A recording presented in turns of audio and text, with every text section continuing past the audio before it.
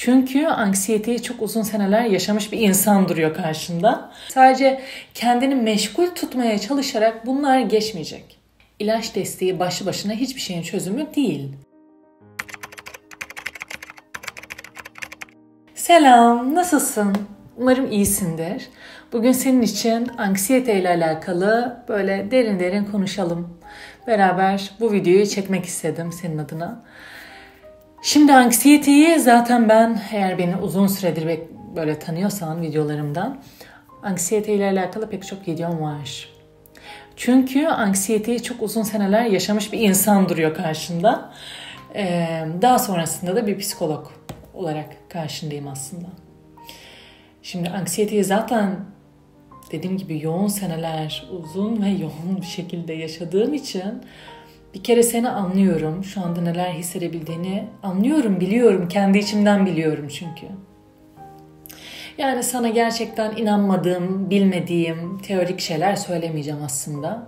Bu aralar özellikle düşündüğüm, kendi içimde fark ettiğim çok önemli bir konudan bahsetmek istiyorum. Özellikle anksiyete yaşarken nasıl bir döngünün içerisinde oluyoruz ve bu döngüyü nasıl kırabiliriz'i konuşacağız. Ancak videoya geçmeden önce eğer ki benden seans almak istiyorsan ben İngiltere'de yaşıyorum ama bütün dünyadaki danışanlarıma online terapi veriyorum. Belki de İngiltere'desindir. Benle yüz yüze de seans yapabilirsin. Ama her web siteme girip gezenpsikolog.com'a girip buradan randevu oluşturabilirsin. Diğer yandan ise Instagram'a geçip de benim hakkımda biraz daha fazla bilgi edinmek istersen her zaman oradan da beni takip edebilirsin. Şimdi anksiyete. Nedir bu anksiyete ve neden geçmiyor? Yani şimdi ilk önce şunu söyleyeyim. Eğer ki sadece gidip bir psikiyatriste ilaç alıyorsan ve sorunla yüzleşmek yerine sadece hızlı çözümler yapmaya odaklandıysan hayatında bu anksiyete geçmez. Geçmemesinin nedeni devamlı hayatında hızlı çözümler arıyor oluşun. Bir kere anksiyete içinde yani özünde kendini ihmal etmenden dolayı oluyor kendi içindeki geçmişindeki o versiyonu, versiyonları, yaralı versiyonları ihmal etmenden dolayı kaynaklanıyor. Eğer ki biz kaygımızı hissetmekten kaçıyorsak, üzüntümüzü hissetmekten, korkumuzu hissetmekten, yani kendini, ruhunu ya, yani gerçekten ruhunu, özünü hissetmekten kaçıyorsan, işte o zaman pek çok psikolojik problemler yaşıyoruz. Bunlardan bir tanesi de en yaygın da anksiyete oluyor. E, anksiyetenin en yaygın psikolojik hastalık olduğuna o yüzden şaşırmamak lazım. Çünkü pek çoğumuz devamlı telefonda, bilgisayarda kendimizden kaçmak için mükemmel yol mükemmel yollar mükemmel yollar bulduğumuzdan dolayı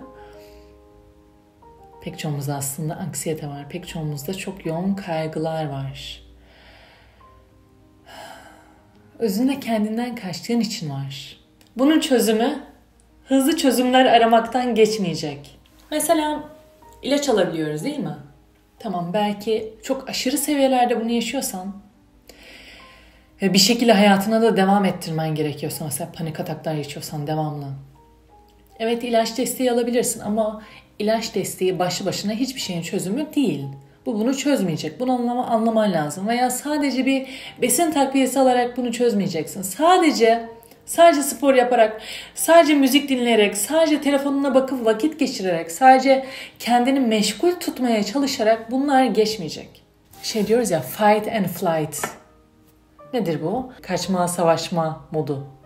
Yani hayatta kalma modundaysa devamlı hayatın yani her şeyi bir sıkıştırıyorsan hayatında, kendine güzel uzun uzun zamanlar ayırıp işini yapmaktansa son ana bırakıp kendini ihmal edip hayatını bu şekilde devam ettiriyorsan aslında anksiyete çok daha fazla yaşıyor olabilirsin. Çünkü özünde kendini, ihtiyaçlarını, benliğini, ruhunu erteliyorsun. Temizliğini erteliyorsun, bakımını erteliyorsun, ruhunu Aynaya bak. Bak hatta telefonunu al şimdi. Telefonunu al ve kendine bak. Oradaki seni erteliyorsun. ya da geçmişindeki benliklerini erteliyorsun. Ve bunu yapmaya devam ettiğin sürece bu da devam edecek. Hislerin de devam edecek. Mesela belki şu anda terapiye gidiyor olabilirsin ya da terapiye gitmeyi düşünüyor olabilirsin. Özellikle diyelim terapiye gidiyorsun. Haftada bir seans yapıyorsun. Bazen haftada birden fazla. Peki seans dışında gerçekten kendine vakit ayırıyor musun kendi başına? Bunu bir sor. Veya psikiyatriste gidiyorsun, ilaç alıyorsun. Değil mi? E peki ilaç dışında kendin için ne yapıyorsun? Duygularınla kalıp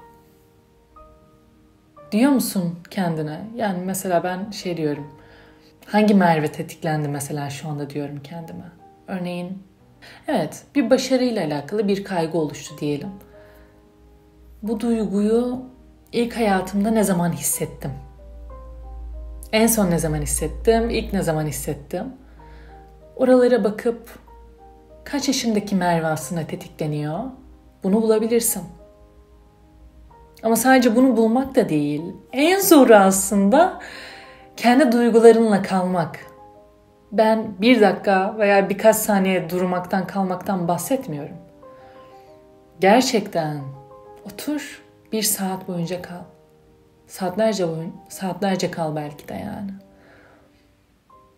Belki ilk önce ufak ufak başlayıp daha sonra o uzunluğu arttırabilirsin ama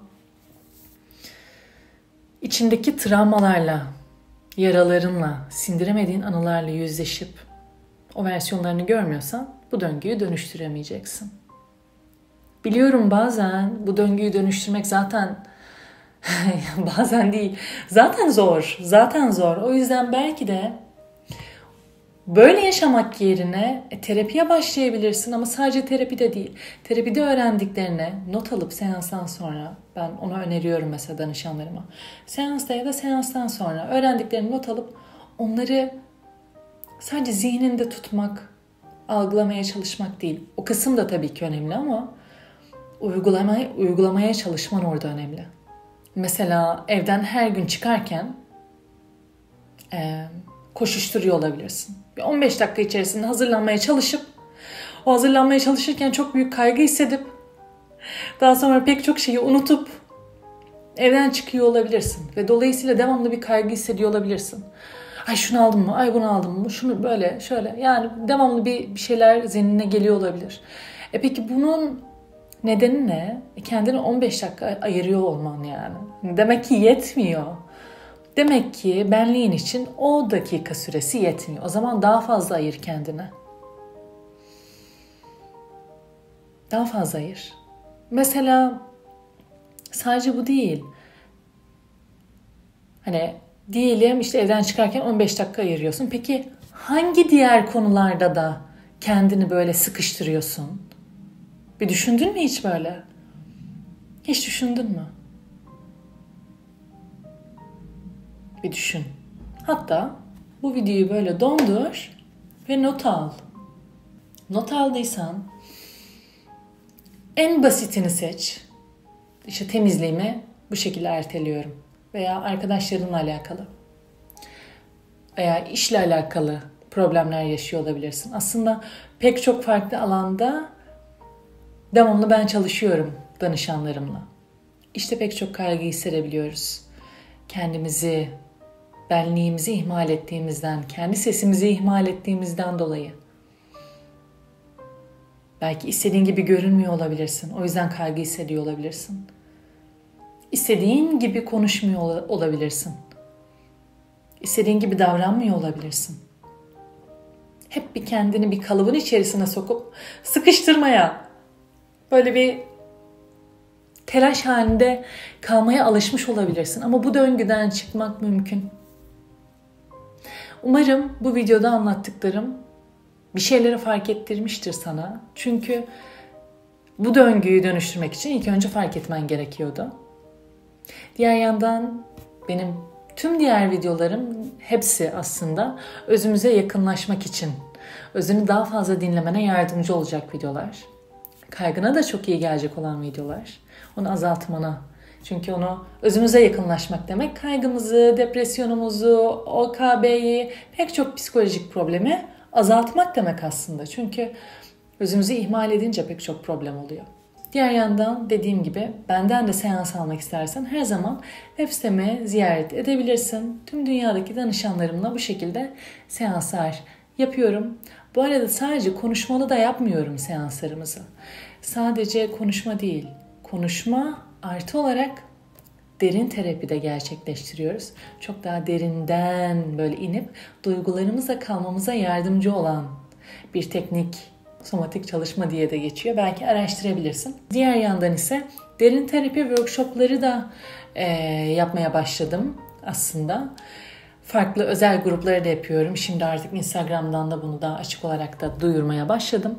Eğer ki bu derin terapi workshoplarımıza da katılmak istersen beni her zaman Instagram'dan takip etmen lazım ki duyuruları gör. Oradan da kaçırma. Şimdi seni çok çok öpüyorum. O zaman kendine çok iyi bak. Gerçekten iyi bakmaya çalış. Dinlemeye çalış. Olur mu? Görüşürüz.